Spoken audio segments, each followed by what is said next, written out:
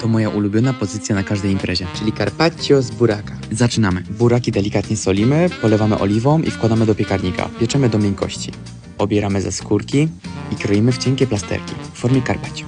Robimy dressing. Powinien być lekko musztardowy, a zarazem lekko kwaskowaty, żeby przełamać słodycz buraka. Proporcje znajdziesz w opisie.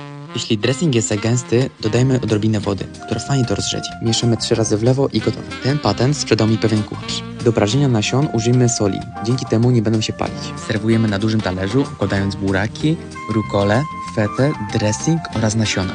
Na samą górę dajcie kolendę, która fajnie to orzeźwi. Do następnego, hej!